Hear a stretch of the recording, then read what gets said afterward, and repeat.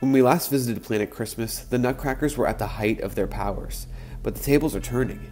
A secret enemy has been manipulating the battle from behind the scenes, and now his plan for intergalactic domination is about to be put into effect. Our hero Garrett will encounter new friends and unlikely allies who might help him defeat the planet conquering warlord, but there's no telling if they'll make it out alive. This 25 page third issue is fully illustrated by Raphael Sam, lettered by the talented Eric Hodson, and written by myself, Ryan Haack. Back this book and enter the fantastical yet dangerous world of bric-a-brac.